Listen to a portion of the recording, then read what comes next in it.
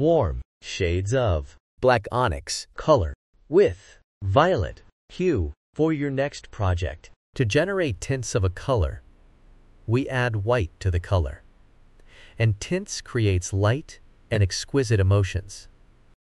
To generate shades of a color, we add black to the color, and it is used in patterns.